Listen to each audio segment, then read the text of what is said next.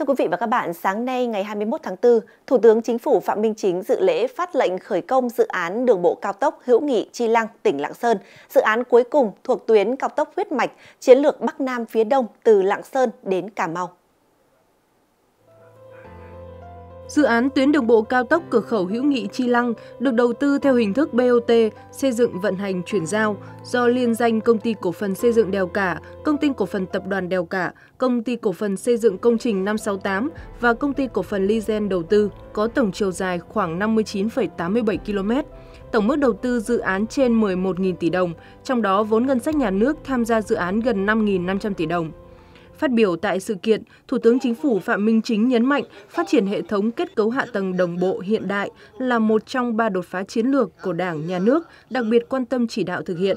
Dự án mở ra không gian phát triển mới, kết nối giao thông, kết nối kinh tế giữa vùng miền núi phía Bắc với đồng bằng sông Hồng, kết nối hai tuyến hành lang kinh tế Nam Ninh, Lạng Sơn, Hà Nội, Hải Phòng và Lạng Sơn, Hà Nội, Thành phố Hồ Chí Minh, Mộc Bài là cửa ngõ quan trọng kết nối các nước ASEAN với Trung Quốc. Thủ tướng yêu cầu các bộ kế hoạch đầu tư, Bộ Giao thông Vận tải và các bộ cơ quan liên quan tiếp tục phối hợp chặt chẽ với tỉnh Lạng Sơn để hỗ trợ cùng tháo gỡ khó khăn vướng mắc, thúc đẩy tiến độ dự án, bảo đảm mục tiêu chất lượng, tiến độ, an toàn và hiệu quả, thực hành tiết kiệm chống lãng phí, bảo đảm hiệu quả đầu tư, an toàn thi công, giảm thiểu các tác động đến môi trường và đời sống người dân. Nhằm tăng khả năng hấp thụ vốn, thực hiện hiệu quả các công trình dự án, Ủy ban nhân dân thành phố Hà Nội đã quyết định điều chỉnh kế hoạch vốn đầu tư công năm 2024, phấn đấu tỷ lệ giải ngân năm 2024 đạt tối thiểu 95% kế hoạch được giao.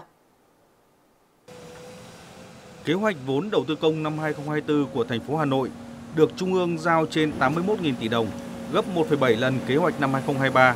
Trong đó cấp thành phố trên 47.000 tỷ đồng, cấp huyện là 33.100 tỷ đồng, Đến nay, số vốn cấp cho thành phố đã phân bổ được 28.700 tỷ đồng, còn hơn 18.700 tỷ đồng chưa phân bổ chi tiết.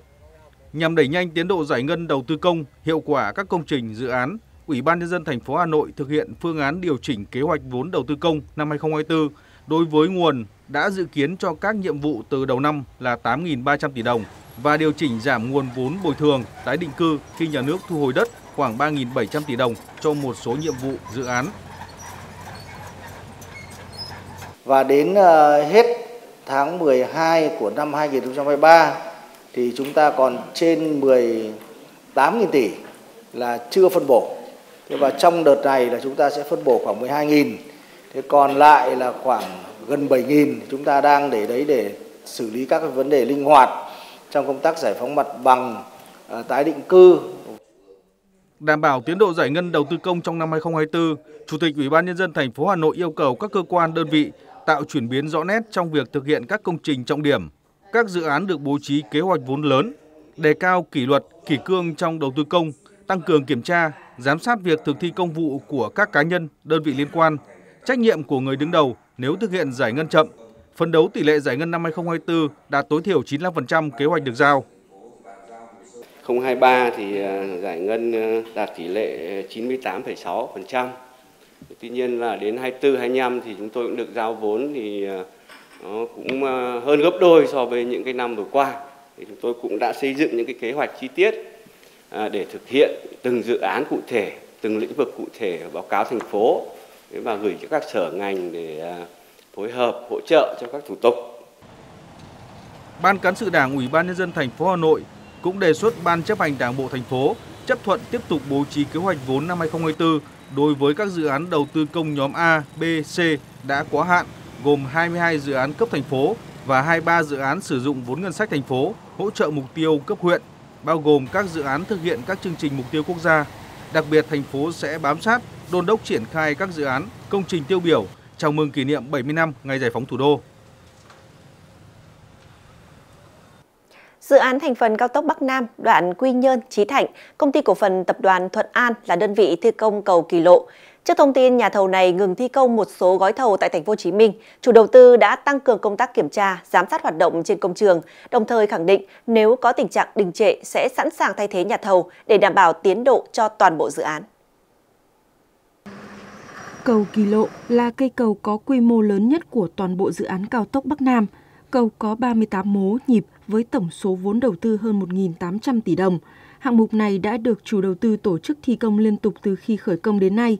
Công ty cổ phần tập đoàn Thuận An tham gia thi công từ trụ T9 đến T26. Sau khi chủ tịch công ty cổ phần tập đoàn Thuận An bị bắt, ban điều hành gói thầu và các đơn vị liên quan thường xuyên có mặt tại công trường, động viên 150 công nhân và kỹ sư tiếp tục làm việc. Nhà thầu Thuận An thi công từ trụ T9 cho đến trụ T26 và hiện tại thì ở thời điểm này thì tất cả bốn mũi của công ty đang thi công rất là rầm rộ, rất là tốt. Để tư vấn giám sát, chủ tư cũng đặc biệt quan tâm và hỗ trợ và đỡ cho nhà thầu. Ban Quản lý Dự án 85, chủ đầu tư dự án thành phần Quy Nhơn, Trí Thạnh khẳng định, hoạt động thi công trên công trường cao tốc Bắc Nam khu vực cầu Kỳ Lộ vẫn diễn ra bình thường – phía công ty cổ phần tập đoàn Thuận An đã có người được ủy quyền để xử lý các công việc. Chủ đầu tư sẽ thường xuyên kiểm tra, giám sát hoạt động của nhà thầu. Nếu có tình trạng đình trệ thì sẵn sàng thay thế nhà thầu để đảm bảo tiến độ cho toàn dự án. Thưa quý vị và các bạn, tình trạng người điều khiển phương tiện đi ngược chiều đã trở nên quá quen thuộc trên nhiều tuyến phố ở thủ đô Hà Nội. Đặc biệt vào những khung giờ cao điểm thì tình trạng này lại càng phổ biến. Những hành vi này không chỉ vi phạm nghiêm trọng luật giao thông và tiềm ẩn những nguy cơ mất an toàn. Xe máy đi ngược chiều trên các tuyến đường còn gây ra tình trạng un tắc ở đô thị. Ghi nhận tại nút giao Phạm Hùng, Tôn Thất Thuyết, Hà Nội, giờ cao điểm buổi sáng, lượng phương tiện tham gia giao thông tăng cao. Thay vì đi đúng chiều, nhiều người lại chọn đi ngược chiều. Đi theo cách vi phạm pháp luật này chưa biết tiết kiệm được bao nhiêu phút, nhưng đường ngày thêm ùn tắc. Không chỉ giờ tan tầm, vào các khung giờ khác trong ngày, tình trạng đi ngược chiều vẫn xảy ra thường xuyên, không chỉ xe máy mà cả xe đạp. Cái tình trạng đi ngược chiều này là, là tiềm ẩn rất là nhiều nguy cơ gây mất an toàn giao thông. Bởi lẽ là khi người dân đi ngược chiều thì ờ, nấn hết sang phần đường của các xe ngược lại cho nên là à, dễ gây bất ngờ cho các à, phương tiện tham gia giao thông. Tuy nhiên là cái khó khăn chúng tôi là tại vì là à, diễn ra trong cái giờ cao điểm cho nên là cái mật độ phương tiện tham gia giao thông đông những cái à, trường hợp mà người vi phạm mà khi nhìn thấy bóng dáng của lực lượng chức năng đang kiểm tra xử lý và tiến hành quay đầu bỏ chạy thì tiềm ẩn rất nhiều cái nguy cơ gây mất an toàn giao thông và dễ xảy ra tai nạn giao thông. Hành vi ngang nhiên đi ngược chiều, sai làn vượt đèn đỏ có nhiều chủ phương tiện đã góp phần rất lớn dẫn đến tình trạng ùn tắc giao thông nghiêm trọng của nhiều tuyến đường. Khi bị xử lý vi phạm, ai cũng có lý do riêng Tại nay em uh, ốm với lại uh, uh, cô bài kiểm tra ấy, em uh, mới uh, đi phải đi nhanh. Ấy. Em biết đoạn này nguy hiểm nhưng mà uh, tại vội quá nó tắc quá mà dừng đèn đỏ bên kia thì em phải dừng mất khoảng tầm 10 phút 5-10 phút thì em mới đi được qua chỗ đèn đỏ này thì thay vì đấy thì em đi sát vào làn đường bên này để vượt đèn đỏ cho nhanh ấy. Đó là những câu trả lời của người vi phạm khi bị lực lượng chức năng xử lý. Rõ ràng không thể dùng bất cứ lý do nào để bao biện cho hành vi vi phạm luật giao thông, vì nhanh vài giây có thể chậm cả đời. Những tờ biên bản xử lý như thế này có lẽ vẫn chưa đủ sức để gian đe. Bất cứ một ngã tư nào ở Hà Nội nếu chúng ta đứng đây chúng ta quan sát thì thấy là mỗi chu kỳ, kỳ đèn đều có thể có thể hàng chục, hai chục chiếc xe máy hoàn toàn bỏ qua các quy tắc giao thông và đặc biệt là những người mặc khoác áo các loại uh, uh, xe ôm công nghệ thì là đặc biệt vi phạm nhiều ờ, cái quy tắc về đèn giao thông. Đây là cái tình trạng mà tôi cho rằng cái ý thức về đảm bảo tuân thủ ờ, các luật về các quy định về giao thông của người đi xe máy đặc biệt là trong khu vực đô thị rất là kém. Thống kê của Ủy ban An toàn Giao thông Quốc gia cho thấy, đi ngược chiều là một trong những nhóm vi phạm chính dẫn đến tai nạn giao thông. Đã có nhiều cái chết thương tâm do chạy xe ngược chiều. Nếu nhiều người vẫn muốn nhanh hơn vài phút, vẫn bất chấp để đi ngược chiều, thì nỗ lực giảm thiểu tai nạn giao thông vẫn còn là thách thức khó vượt qua. Cục Đường bộ Việt Nam vừa ban hành quyết định về việc ban hành kế hoạch kiểm tra giám sát năm 2024 đối với các trạm thu phí dịch vụ sử dụng đường bộ trên hệ thống quốc lộ do Cục Quản lý. Theo đó, có 14 trạm thu phí nằm trong kế hoạch kiểm tra giám sát năm 2024 của Cục Đường bộ Việt Nam như trạm thu phí Đại Yên, các trạm thu phí dự án đường cao tốc Hà Nội Lào Cai, trạm thu phí cầu Rạch Miễu. Nội dung kiểm tra giám sát lần này tập trung vào công tác quản lý vận hành trạm thu phí, công tác thu tiền sử dụng dịch vụ đường bộ tại các dự án BOT. Thành phố Hà Nội vừa ban hành kế hoạch triển khai thực hiện thí điểm cấp phiếu lý lịch tư pháp trên ứng dụng định danh và xác thực điện tử VNeID nhằm đẩy mạnh cải cách thủ tục hành chính cấp phiếu lý lịch tư pháp, tạo thuận lợi, giảm thời gian, chi phí xã hội cho người dân. Ngày mai 22 tháng 4, Sở Tư pháp thành phố Hà Nội triển khai thí điểm thủ tục cấp phiếu lý lịch tư pháp trên ứng dụng VNeID cho các trường hợp công dân Việt Nam có tài khoản định danh điện tử ở mức độ 2. Trường hợp công dân chưa có tài khoản định danh điện tử ở mức độ 2 thì thực hiện trên hệ thống thông tin giải quyết thủ tục hành chính thành phố Hà Nội tại địa chỉ dịch vụ công.hanoi.gov.vn. Phiếu lý lịch tư pháp được cấp bằng bản điện tử, có giá trị pháp lý như bản gốc, phiếu lý lịch tư pháp giấy. Phiếu lý lịch tư pháp điện tử sẽ mặc định được trả về tài khoản của công dân trên ứng dụng VNeID hoặc cổng dịch vụ công quốc gia tại địa chỉ dịch vụ công.gov.vn. Trường hợp công dân có nhu cầu nhận kết quả phiếu lý lịch tư pháp bản giấy thì được trả tại nhà qua dịch vụ bưu chính hoặc tại bộ phận một cửa Sở Tư pháp thành phố Hà Nội. Một trong những cách thức để doanh nghiệp tiếp cận thị trường mới, thúc đẩy tiêu thụ sản phẩm và ít tốn kém nhất chính là việc tham gia các hội trợ triển lãm thương mại. Thời gian gần đây, các mô hình triển lãm và hội nghị liên tiếp được tổ chức tại Việt Nam đã cho thấy nhu cầu và khả năng tổ chức cũng như tiềm năng phát triển ngành công nghiệp hội nghị triển lãm tại Việt Nam. Triển lãm Contech và IEL Việt Nam 2024 là một trong những hội trợ triển lãm quốc tế về xây dựng đáng chú ý nhất tại khu vực châu Á. Triển lãm hội tụ những doanh nghiệp hàng đầu trong khu vực và trên thế giới về lĩnh vực xây dựng đã giúp cho các doanh nghiệp Việt Nam có cơ hội phát triển thị trường và thúc đẩy tiêu thụ sản phẩm. Triển lãm Contech thì luôn đem đến cho những cái doanh nghiệp trong ngành xây dựng, trong ngành công nghệ mỏ một cái sân chơi để mà giao lưu quảng bá hình ảnh thương hiệu của mình đến với À, thị trường và với khách hàng trong và ngoài nước. Với cái sự tham gia của những cái doanh nghiệp nước ngoài thì sẽ mang đến rất là nhiều những cái công nghệ mới, những cái trang thiết bị tiên tiến, những công nghệ à, mới nhất từ nước ngoài mang đến cho khách hàng và thị trường Việt Nam. À, đáp ứng lại những cái nhu cầu ngày càng cao của khách hàng ở trong nước, mang lại cho khách hàng của mình với những cái sản phẩm ưu việt hơn, tạo tiền đề để cải thiện cái bộ mặt của toàn bộ ngành máy móc, thiết bị và công trình của Việt Nam. Không chỉ có Contech và IEL Việt Nam 2024, hàng năm tại Việt Nam có hàng trăm hội trợ triển lãm với đa dạng các hình thức về đủ các lĩnh vực được tổ chức đã đem lại một môi trường kinh doanh và quảng bá hiệu quả cho các doanh nghiệp trong nước tìm kiếm các đối tác nước ngoài. Chúng tôi mang đến những công nghệ sản xuất hiện đại để có thể tiến tới xây dựng các nhà máy sản xuất vật liệu xây dựng tối tân. Chúng tôi nhận thấy Việt Nam là một đất nước đang phát triển rất nhanh, nên chúng tôi muốn bắt kịp xu thế để tận dụng cơ hội có ở thị trường Việt Nam để mở rộng doanh nghiệp và trở thành một trong những đối tác hàng đầu của Việt Nam. Thì tôi cho rằng với cái cách tổ chức hiện nay và với cái đề tài và với cái sản phẩm phong phú như vậy thì sẽ đưa đến cho những cái người tham gia cũng như những người tham ờ, những cái, cái, cái doanh nghiệp mà tham gia hội trợ này có rất nhiều các lợi ích và cũng là một cái cơ hội để mà học hỏi lẫn nhau qua các cuộc hội thảo các cái tham luận. Và đồng thời là đây cũng là cái cơ hội để mà tiếp cận các cái công nghệ tiên tiến của nhau. Và đây cũng là một cái sân chơi để các đơn vị có cái cơ hội để mà hợp tác và liên doanh với nhau.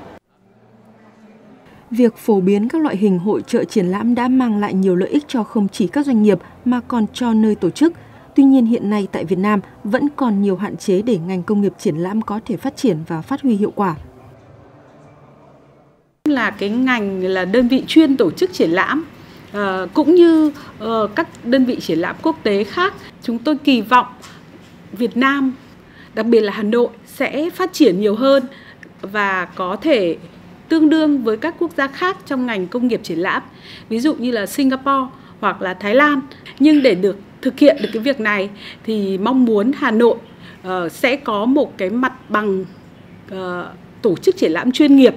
Thì như thế thì yếu tố đấy là hạ tầng để tổ chức các, các nhà triển lãm ví dụ như là hiện tại là Hà Nội đang chưa có cái mặt bằng đó có cái nơi rất là bé. Thực tế cho thấy, công nghiệp triển lãm ngoài tạo ra môi trường kinh doanh cho các doanh nghiệp và nhà đầu tư thì còn đem lại lợi nhuận không nhỏ cho ngành du lịch của các quốc gia khi thu hút được hàng nghìn khách tham quan tới tham dự các sự kiện này. Để bắt kịp được xu hướng trên, Việt Nam cũng cần phải cải thiện về các điều kiện cơ sở vật chất cũng như chính sách để nắm bắt cơ hội, từ đó góp phần phát triển kinh tế xã hội. Trong khuôn khổ thực thi thương mại tự do Việt Nam EU, hiện Việt Nam có 9 giống gạo thơm được hưởng ưu đãi thuế khi xuất khẩu sang EU, nhưng chưa có hai giống gạo thơm là ST24 và ST25. 9 giống gạo thơm của Việt Nam được hưởng ưu đãi thuế trong hạn ngạch khi xuất khẩu sang EU, bao gồm Jasmine 85, ST85, ST20, nàng hoa 9, VD20, RVT, OM 4900, OM 5451 và tài nguyên chợ đào. Những giống gạo thơm này chủ yếu được sản xuất ở khu vực đồng bằng sông Cửu Long. Sau gần 4 năm triển khai thực hiện hiệp định, Việt Nam đang đề xuất điều chỉnh danh mục gạo thơm để xuất khẩu sang EU với mức thuế là 0% theo hạn ngạch để phù hợp với thực tế xuất khẩu gạo của Việt Nam hiện nay. Thị trường Hàn Quốc đang tăng nhập khẩu nhiều loại hàng hóa từ Việt Nam, nhất là nhóm hàng điện tử, dệt may, phụ tùng. Nhờ đó, hết quý 1 năm 2024, xuất khẩu sang thị trường tăng gần 9% so với cùng kỳ năm trước. Tính chung 3 tháng đầu năm nay, kim ngạch xuất khẩu hàng hóa của Việt Nam sang thị trường Hàn Quốc đạt 6,3 tỷ đô la Mỹ, tăng 8,7% so với cùng kỳ năm trước. Mặt hàng có kim ngạch xuất khẩu lớn nhất trong 3 tháng qua là nhóm mặt hàng máy vi tính, sản phẩm điện tử và linh kiện. Tiếp đến là điện thoại và các loại linh kiện, dệt may. Một số nhóm hàng xuất khẩu sang Hàn Quốc có kim ngạch xuất khẩu tăng phải kể đến phương tiện vận tải và phụ tùng, hàng rau quả, cà phê, phân bón. Với mong muốn tạo sân chơi lành mạnh cho các thí sinh có năng khiếu ca hát được thể hiện và khẳng định bản thân, đồng thời tạo bước đệm cho các thí sinh được theo đuổi đam mê của mình. Sáng nay tại Hà Nội, Tập đoàn Truyền thông và Giải trí Diamond tổ chức họp báo thông báo cụ thể về nội dung cơ cấu giải thưởng của chương trình. Chương trình Đỉnh cao âm nhạc được tổ chức nhằm tìm kiếm ngôi sao của ba dòng nhạc đang thịnh hành, dân gian, bolero, nhạc nhẹ trên lãnh thổ Việt Nam – theo thông báo của ban tổ chức tại buổi họp báo, vòng sơ khảo tại ba miền Bắc Trung Nam sẽ diễn ra từ mùng 8 tháng 6 đến 16 tháng 6 năm 2024. Qua đó chọn 60 thí sinh tham dự bán kết, mỗi dòng nhạc chọn ra 20 thí sinh. Ngày mùng 6 tháng 7 là vòng bán kết và chọn 24 thí sinh xuất sắc nhất, mỗi dòng nhạc chọn ra 8 thí sinh để tham dự đêm chung kết. Đêm chung kết sẽ được phát sóng trực tiếp trên truyền hình Đài Tiếng Nói Việt Nam VOV-TV vào ngày 10 tháng 8 năm 2024. Tại đêm chung kết, ban tổ chức sẽ tìm ra những thí sinh xứng đáng với ngôi vị quán quân, á quân và những danh hiệu khác. Với đội ngũ ban giám khảo ờ, uy tín thế này thì tôi hy vọng cuộc thi sẽ phát hiện được ra những thí sinh ờ, đúng với chất lượng ờ, như mong muốn, kỳ vọng của công chúng và mang lại Ờ, những cái giá trị cho các học sinh có năng lực thực sự, có sự đầu tư chỉnh chu với cuộc thi.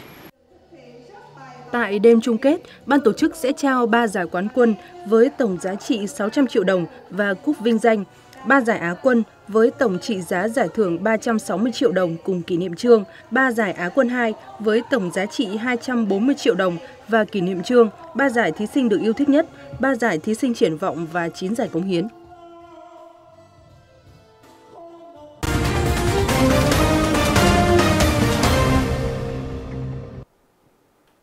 Chuyển sang những thông tin đang được dư luận quan tâm. Sáng ngày 21 tháng 4, Ủy ban nhân dân huyện ờ, Hà Trung cho biết, sau khi huyện đề xuất, Ủy ban nhân dân tỉnh Thanh Hóa đã có văn bản về việc tạm dừng khai thác khoáng sản tại khu vực mỏ đá vôi phát hiện hang động. Hiện cơ quan chức năng đang phối hợp với các đơn vị có liên quan tiến hành khảo sát, đánh giá toàn diện về quy mô, giá trị, ý nghĩa lịch sử, văn hóa, di sản du lịch nếu có đối với hang động.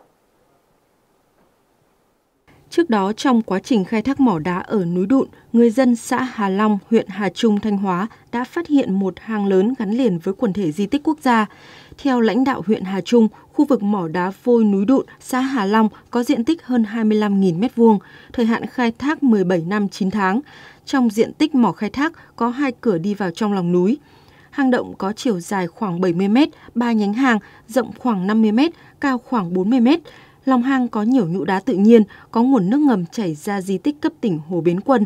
Việc khai thác đá có nguy cơ khiến hang bị lấp, phá vỡ quy hoạch.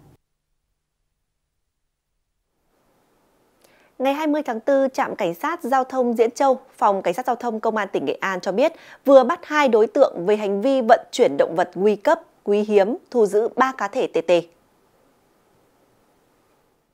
Trước đó, ngày 19 tháng 4 năm 2024, trong quá trình thực hiện nhiệm vụ tuần tra kiểm soát tại km 406 quốc lộ 1A thuộc địa phận thôn 3, xã Quỳnh Giang, huyện Quỳnh Lưu, tổ công tác trạm cảnh sát giao thông Diễn Châu phát hiện hai đối tượng điều khiển xe mô tô có biểu hiện nghi vấn tàng trữ, vận chuyển trái phép động vật hoang dã nên đã tiến hành dừng xe để kiểm tra. Qua đó phát hiện Nguyễn Sĩ Tiếp, sinh năm 1989 và Trần Trung, sinh năm 1974, cùng chú tại xã Quỳnh Giang, huyện Quỳnh Lưu, đang có hành vi vận chuyển ba cá thể TT được cất giấu trong chiếc ba lô mà hai đối tượng mang theo bên mình. Tại cơ quan công an, Tiếp và Trung khai nhận số TT này được mua từ nước ngoài, đang trên đường vận chuyển đi tiêu thụ thì bị lực lượng chức năng phát hiện, bắt giữ. Hiện vụ việc đang tiếp tục được điều tra làm rõ. Tối qua ngày 20 tháng 4, khoảng 23 giờ 30 phút đã xảy ra một vụ tai nạn giữa một xe tải trên 3,5 tấn với ô tô khách trên 30 chỗ tại khu vực thị trấn Khâm Đức, huyện Phước Sơn, Quảng Nam khiến một người tử vong. Cú tông trực diện khiến phần đầu hai xe bẹp rúm, mảnh vỡ văng tung tóe trên đường. Tài xế xe tải bị thương nặng được đưa đến trung tâm y tế huyện Phước Sơn cấp cứu nhưng đã tử vong. Tài xế xe khách mắc kẹt trong cabin được đưa ra ngoài, gãy hai cẳng chân một hành khách bị đa chấn thương. Tai nạn làm giao thông ùn ứ, gần 4 giờ sáng ngày 21 tháng 4, các xe mới có thể lưu thông trở lại. Công an huyện Phước Sơn hiện đang điều tra nguyên nhân vụ tai nạn. Một vụ cháy lớn xảy ra tại một bãi xe trên đường Điện Biên Phủ, thành phố Quy Nhơn vào tối qua 20 tháng 4 đã thiêu dụi 4 ô tô đầu kéo container. Theo đó, vào khoảng 18 giờ 30 phút, ngọn lửa bùng lên ở bãi đậu xe ở khu đất A3 thuộc phường Nhân Bình. Khi nhiều xe đầu kéo đang đậu gần nhau, đám cháy nhanh chóng bùng lên dữ dội, lan sang các xe ở cạnh. Khói đen bốc cao hàng chục mét khiến người trong bãi xe không kịp trở tay. Phòng cảnh sát phòng cháy chữa cháy và cứu hộ cứu nạn đã điều 11 xe bồn và xe chữa cháy cùng 80 cán bộ chiến sĩ tới hiện trường phun nước dập lửa. Đám cháy được khống chế sau khoảng 30 phút, tuy nhiên 4 xe container đã hư hỏng, biến dạng. Nguyên nhân vụ cháy hiện đang được điều tra. Trong phần tiếp theo của chương trình, Nhật Bản hai trực thăng quân sự va chạm, ít nhất một người thiệt mạng.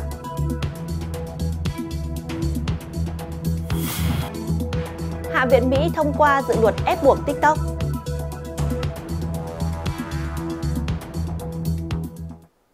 Cập nhật về vụ hai trực thăng của lực lượng phòng vệ trên biển Nhật Bản gặp nạn khi đang tham gia diễn tập ở khu vực quần đảo Izu phía nam Tokyo, Bộ Quốc phòng Nhật Bản hôm nay ngày 21 tháng 4 thông báo đã ghi nhận ít nhất một người thiệt mạng và 7 người vẫn mất tích. Theo Bộ trưởng Quốc phòng Nhật Bản Minoru Kihara cho biết, hai trực thăng mất tích là loại 4 chỗ, có số hiệu SH-60K chở 8 người, đã gặp sự cố khi đang thực hiện công tác huấn luyện tác chiến chống tàu ngầm vào ban đêm trên vùng biển phía đông đảo Torishima thuộc quần đảo Izu cách Tokyo khoảng 600 km về phía nam. Trong quá trình bay, trực thăng đầu tiên mất liên lạc vào lúc 22 giờ 38 phút và lực lượng chức năng nhận được tín hiệu khẩn cấp từ máy bay này một phút sau đó. Khoảng 25 phút sau, máy bay còn lại cũng không liên lạc được. Hai trực thăng này cùng thuộc biên chế của một tàu khu trục của lực lượng phòng vệ trên biển Nhật Bản. Thông tin ban đầu cho rằng có thể hai trực thăng này đã đâm vào nhau. Bộ trưởng Minoru Kihara cho biết thêm, trong chiến dịch tìm kiếm, lực lượng phòng vệ trên biển Nhật Bản đã phát hiện dấu vết được cho là mảnh vỡ của máy bay trực thăng. Hiện lực lượng chức năng đã điều tra nguyên nhân dẫn tới vụ việc và Bộ Quốc phòng Nhật Bản khẳng định sẽ nỗ lực hết sức để tìm kiếm những người còn mất tích. Lực lượng phòng vệ trên biển Nhật Bản đã điều động 8 tàu tìm kiếm cùng 5 máy bay để tham gia công tác cứu hộ, đồng thời tiến hành điều tra nguyên nhân tai nạn. Hai chiếc hộp đen ghi lại dữ liệu chuyến bay đã được trục vớt.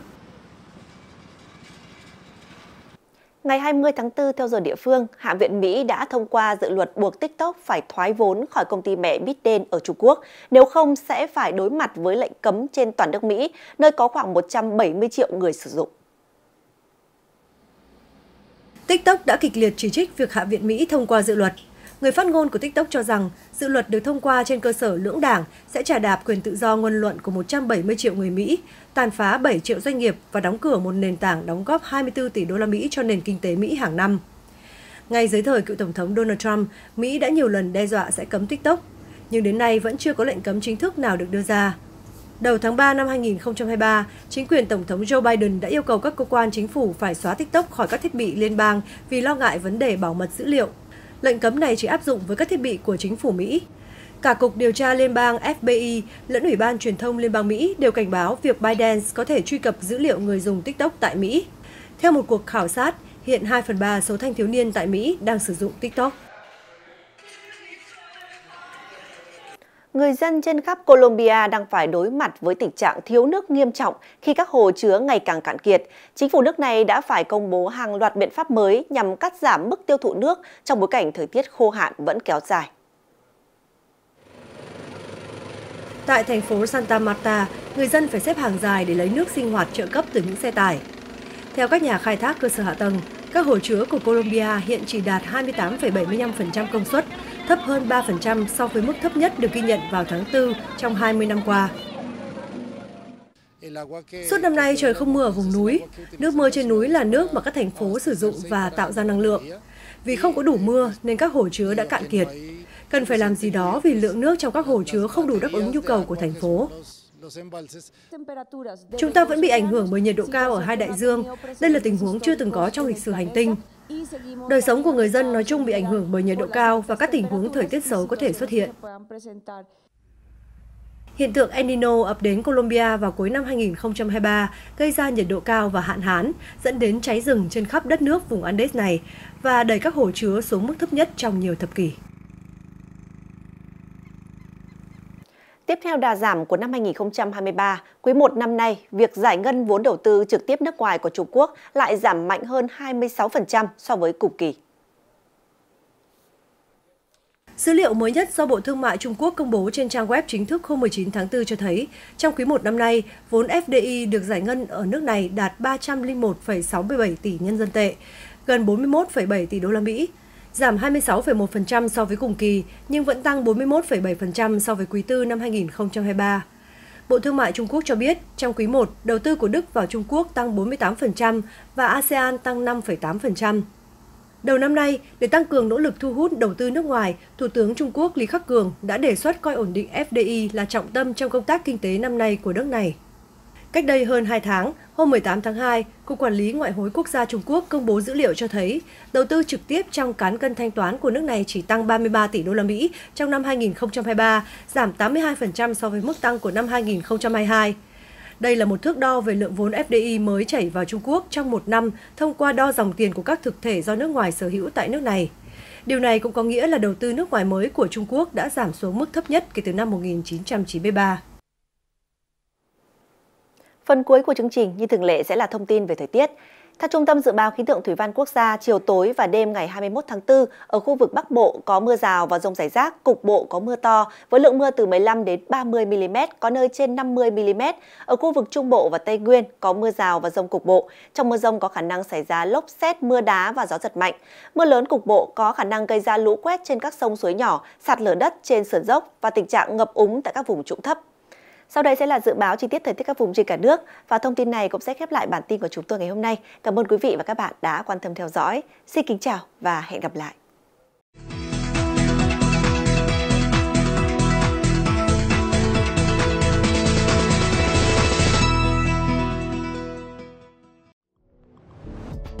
Phía đông bắc bộ có mây, chiều tối và đêm có mưa rào và rông rải rác, cục bộ có mưa to, ngày nắng, nhiệt độ từ 23 đến 33 độ.